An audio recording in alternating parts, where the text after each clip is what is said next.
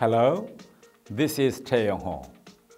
Upon the meeting with Kim Jong-un on October 7th, U.S. Secretary of State Mr. Pompeo said that he had a good and productive conversations with Kim Jong-un and made progress for North Korea's denuclearization by getting the acceptance of nuclear inspections. However, it is not known whether the inventory of North Korea's nuclear facilities, a point that the U.S. has been pushing for as a primary step towards denuclearization, was discussed at all during his visit to the North.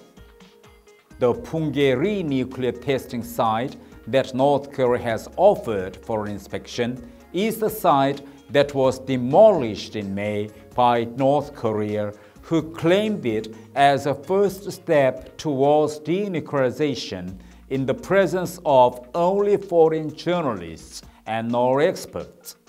And the Tongchang-ri missile launch platforms that were discussed to be dismantled had already been promised to be dismantled between the US and North Korea in June in Singapore some people are choosing to spin this positively by saying that North Korea's acceptance to allow inspections of even futile facilities is real progress.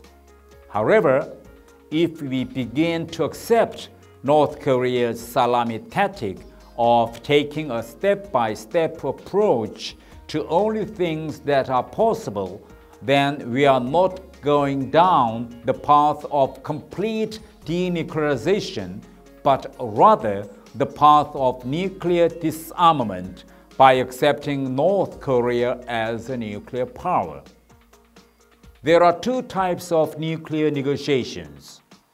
Denuclearization negotiations to completely abandon nuclear weapons and nuclear disarmament negotiations to reduce the nuclear threat.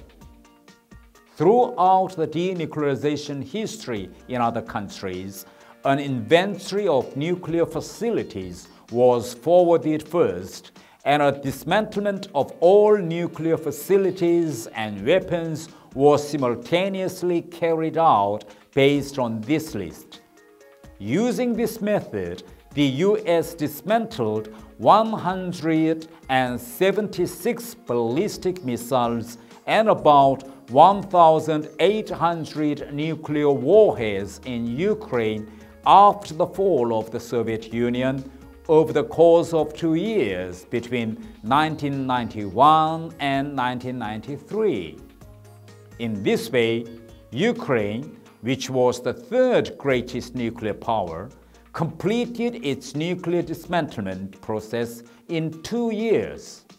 Likewise, if North Korea has the willingness to denuclearize, it can without a doubt complete the process within two years. If North Korea follows the genuine procedures for denuclearization, North Korea will also be able to gain a great deal by receiving not just billions of dollars, but tens of billions of dollars worth of economic aid from the international community, including the US and South Korea.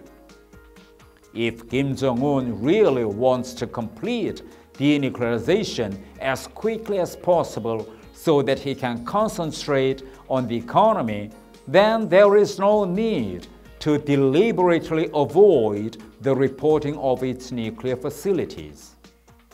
In order for denuclearization to be accomplished, the starting point of the process should be a report and inspection of North Korea's inventory of all its nuclear weapons, its production and storage sites.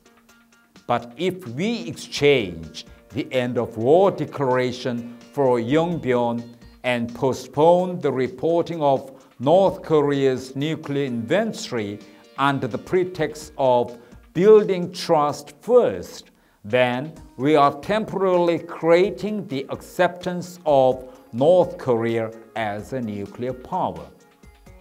The problem now is that after South Korea asked the US to postpone the demands of reporting nuclear inventory, the US also did not utter a word of nuclear inventory.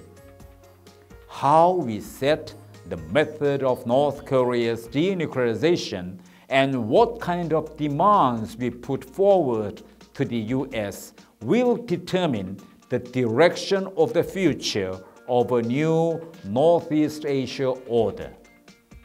Thank you.